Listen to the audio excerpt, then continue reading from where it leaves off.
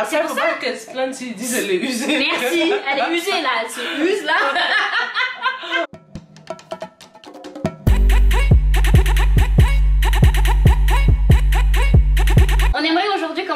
féliciter tous ces nouveaux bacheliers. Félicitations à vous, hein, franchement. Vraiment, le bac c'est pas facile, on est passé par là. Bah, D'ailleurs, nous ça date. Hein. Ouh, Ça date, hein. quand même.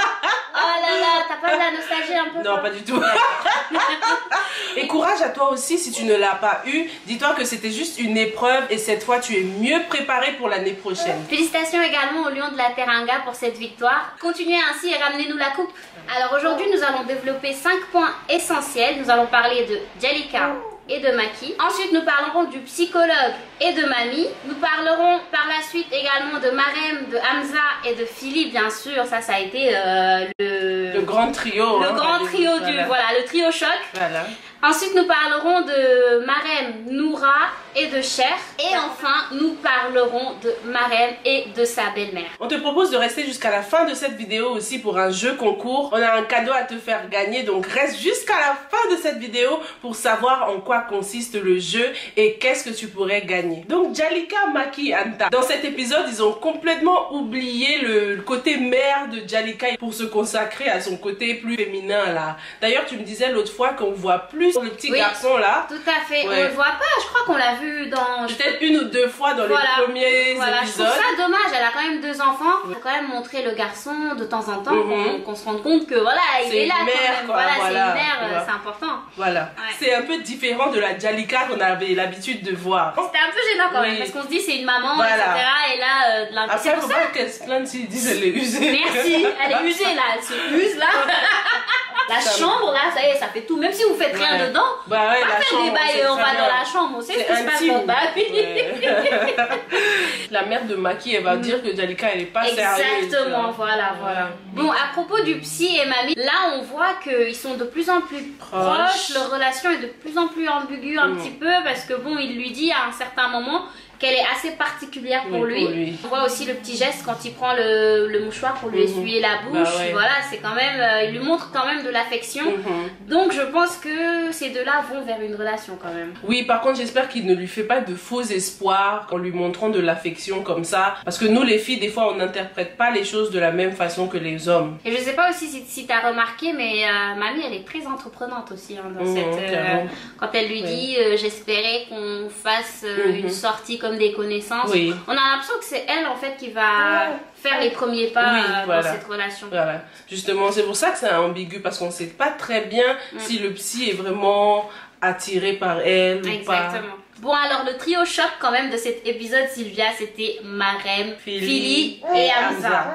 Franchement cette scène entre les trois en train de se lancer des pics comme ça c'était euh, C'était juste voilà c'était chaud c'était époustouflant. On se pose la question vraiment Hamza est-ce une vraie amie en fait Hum, j'avoue. Là, franchement, on peut se poser des questions parce que, Mhm. au lieu de, de conseiller à Marem de, voilà, de se calmer, Voilà. d'essayer de faire la paix avec Lala, non, c'est Mhm. tout à fait le contraire. Et là, on voit bien que Philly, elle a du caractère. Aussi, hein. Ah oui. Philly, euh, Pourtant, elles étaient deux contre Philly et elle a su bien se défendre. D'ailleurs, il y avait beaucoup d'indices dans cette scène qui montraient que c'était vraiment elle le personnage à regarder, tu vois. Parce que dans une scène, le personnage important se place toujours à la droite. Et là, elle était à droite de l'écran et on a bien vu que c'est elle qui a eu le dernier mot. c'est exactement ça. En fait, elle a su clasher Mhm. En restant souriante, Et en restant classe. Voilà. C'était clairement le clash des meilleurs amis dans cette scène. Du coup, tout le monde parle de Hamza, tout le monde fait des hypothèses, comme quoi ce serait peut-être elle la future maîtresse de Cher. Et si c'était Philly Anta? Et oui, c'est ça. Là, on peut se poser des questions hein, parce que on- personne ne pense à elle. Donc, Bah c'est ouais. peut-être elle après Bah ouais. tout, la future maîtresse. Elle est tellement innocente qu'on pourrait pas penser à elle, Mhm. mais faut se méfier. Faut Voilà. se méfier de tout le monde. donc, Elle euh, est tellement loyale, elle Exactement. encourage Lala, Mm. que peut-être que ce serait elle. Qu'est-ce que t'en penses toi? Est-ce que tu penses que Philly pourrait prendre la place de troisième femme? T'as vu Jalika et Dior, donc. Oui. hmm. C'est possible. D'ailleurs, en parlant de Marem, il y a une scène qui m'a vraiment choquée. C'était la scène entre Marem, Cher et Noura. Pourquoi ça m'a choquée? Tout simplement parce qu'on avait cette scène assez intime entre Mhm. Marem et Cher. Oui. Et à côté, il y avait qui? La petite Noura. Noura. Mm. Donc vraiment là, on se demande ce que Mariam elle cherche en fait. Mhm. On, on a l'impression que Mariam elle rentre en conflit avec, euh, Voilà. avec Noura. Que Noura, c'est sa rivale. Alors que c'est Lala. Exactement, exactement. Voilà. Je pense qu'elle voit euh, Lala en Noura, Noura. donc euh, elle commence à faire un petit peu comme euh, Dior Oui. avec Amina. Voilà. Euh, Indirectement, hein. voilà, on voit bien que Mariam elle fait exprès pour provoquer Noura. Mhm. Donc on peut, en fait, là je dirais que c'est carrément de la violence morale. Parce que pour l'Afrique, on a tendance à penser qu'un enfant doit rester à sa place, que l'enfant ne doit pas se mêler des problèmes des adultes. Donc en voyant la réaction de Noura, on pourrait se dire qu'elle se mêle de ce qui ne la regarde pas, qu'elle est trop culottée, Ouais. qu'elle est parfois trop entreprenante, alors que c'est qu'une enfant. Mais en fait, faut pas oublier qu'un enfant c'est un être humain. Oui. C'est un être humain avec un cœur Oui. et des sentiments. Mhm. Donc c'est tout à fait normal. Pour moi, la réaction de Noura, elle est tout à fait normale. Normal. Bah ouais. Et jusqu'ici, personne ne lui a vraiment Oui. expliqué cette situation. Oui. hein. Moi, je trouve que Noura, elle est seule dans cette situation. Elle voit son père s'éloigner, elle voit sa mère qui souffre, comme elle le dit, maman pleure tous les jours, papa ne calcule pas. C'est ce qu'elle voit et il faudrait lui parler, il faudrait lui expliquer. En fait, il faudrait arrêter de tout le temps vouloir remettre l'enfant à sa place Mhm.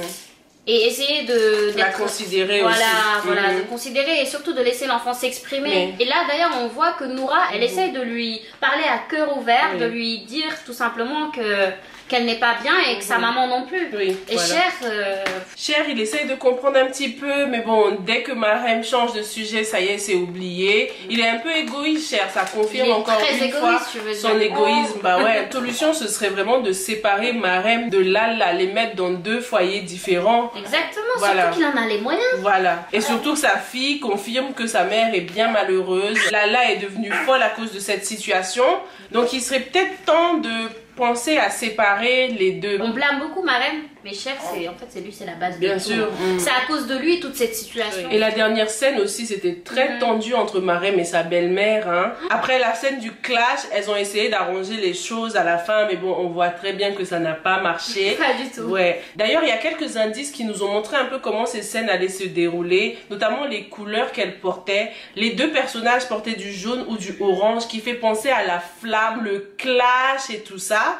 Donc, et même Marem avait un peu de vert sur elle. Donc, le vert, c'est synonyme de colère, hein, on le sait, ça.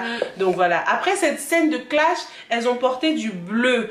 Marem avait quelque chose d'un peu bleu-violet et sa mère avait du bleu ciel qui peut nous faire penser à l'eau qui vient éteindre la flamme. Donc, Marodi nous fait un clin d'œil en nous disant que bon, dans cette scène, elles vont essayer d'arranger les choses parce que le bleu est synonyme d'apaisement, la confiance, la loyauté.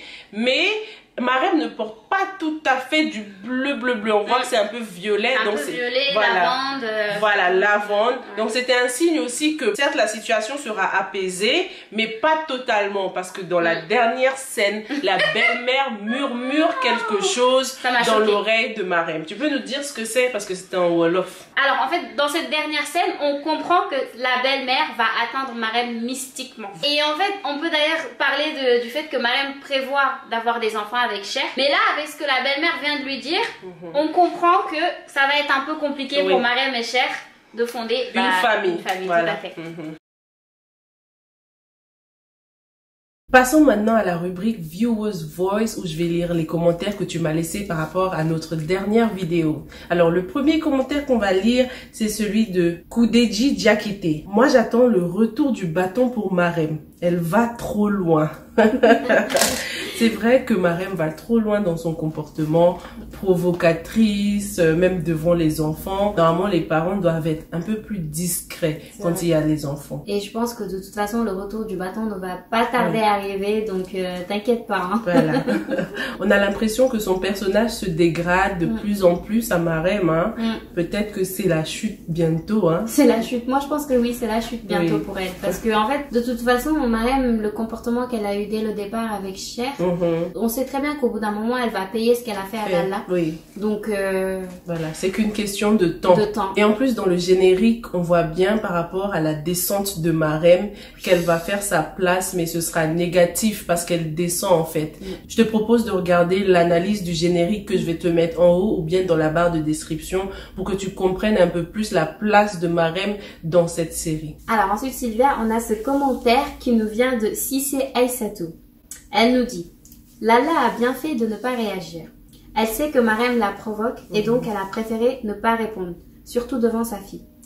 Elle ne va pas s'embrouiller avec sa coépouse devant son enfant quand même. Bah ouais. Je suis totalement d'accord avec elle. Ne jamais rien dire devant les enfants. C'est vrai. Ça, c'est vrai. Je suis totalement d'accord avec toi. Euh, Mhm. Si c'est tout. C'est vrai que devant les enfants, il vaut mieux s'abstenir. Mhm. Et puis, de toute façon, Lala, c'est quelqu'un de mature, Oui. qui a de l'expérience dans le mariage. Elle sait très bien comment réagir. Donc, Voilà. c'est vrai que là, elle a bien fait de ne pas répondre. Ça, c'est c'est vrai. Mais après, quand on regarde, on sait que dans la réalité, je sais pas si... Est-ce que dans la réalité, Ça on ferait ça ou oui. pas euh, Ça, parce que tout ce que Mariam a dit quand même sur sa fille... euh, Bah ouais. Mal éduqué, surtout le mot mal éduqué. Ça, euh, pour se contenir, c'est C'est dur, hein. C'est dur, faut avoir de la force. Hein. oui. Vraiment, faut. euh, ouais. Donc voilà, merci encore une fois pour tes commentaires. Tu nous as fait une proposition, Rumi Bosoken. Tu nous as donné l'idée de faire une rubrique avec des mots en Wolof. Donc pour nous aider à comprendre un peu mieux le film, Anta chaque semaine va nous apprendre un vocabulaire du registre de cette série parce que je pense que c'est important de s'ouvrir, apprendre d'autres vocabulaires de d'autres langues. Exactement, surtout que là, il s'agit de langue africaine, donc c'est d'autant plus positif. Voilà. Alors, le mot du jour, donc Sylvia, qu'as-tu appris? J'ai appris le mot jigen. Qui veut dire? Qui veut dire femme en Wolof. Je pense que c'est un mot important par rapport à la série parce qu'il revient souvent ce mot. Exactement. Mhm. Alors voilà, comme on te disait au début de cette vidéo, aujourd'hui, on a une grande surprise pour toi. On va faire un jeu concours. Et oui, tu vas pouvoir gagner des cadeaux de la part de Sylvia et Oui. Tu vas tout simplement liker la dernière photo qu'on aura publiée sur Instagram dans nos deux comptes. Mhm. Ensuite, tu tags par exemple deux personnes qui pourront eux aussi venir liker la photo. Tu reviens sur YouTube, sur cette même vidéo, en commentaire, tu nous fais savoir que tu as liké la photo sur Instagram. Et n'oublie pas aussi de mettre ton Instagram en commentaire, comme ça on pourra cliquer dessus directement pour accéder à ton compte. Exactement. D'ailleurs, je ne sais pas si dans cette, euh, dans notre communauté qu'on a actuellement sur Ouais. YouTube, est-ce que vous êtes plutôt branché Instagram ou pas Oui. En tout cas, je vous invite fortement à vous créer des comptes Instagram, même si vous ne faites pas des publications, c'est pas Mhm. grave. Sachez que en ce moment, tout se passe sur Instagram. Instagram. Instagram et YouTube sont les deux réseaux sociaux les plus utilisés Oui. actuellement. Donc c'est vraiment important de nous suivre sur Instagram parce qu'on fait pas mal de publications, Oui. pas mal de directs aussi. Euh, on va pouvoir échanger avec vous euh, Mhm. sur des lives en direct sur Instagram. Donc en résumé, tu vas sur nos deux comptes, tu likes la dernière photo de nous deux, ensuite quand tu as liké, tu tags quelqu'un sur photo, et quand c'est fait, tu reviens sur cette vidéo et tu nous écris en commentaire que tu as bien aimé la photo ou tu as bien tagué tes amis, et n'oublie pas d'écrire ton Instagram, comme ça on peut facilement te retrouver. Pour ce qui est de ce que tu vas gagner, alors pour les hommes, pour les hommes, ce sera une montre. En fait, les photos seront publiées dans quelques jours. Dans quelques jours, sur Instagram, tu verras la photo de ce que tu vas gagner. Et pour ce qui est des femmes, ce sera du maquillage de chez Sephora. Oui. Désolée pour celles qui ne se maquillent pas. Il y aura d'autres jeux concours. Attention, on a une autre annonce à vous faire. Et oui, aujourd'hui, il y a trop de surprises, on Ouais. sait plus où donner de la tête. Vous avez été nombreux à nous demander de faire des revues sur la série Golden. Golden. Voilà. Ça aussi, c'est la série du moment. Donc voilà, aujourd'hui, on est très généreuse. On a décidé de te faire plaisir. Plaisir. Donc nous allons commencer à faire des reviews sur la série Golden. Golden. N'oublie pas surtout de liker cette vidéo si elle t'a intéressé. Abonne-toi aussi et active la cloche des notifications. Comme ça, tu ne rateras aucune de nos vidéos.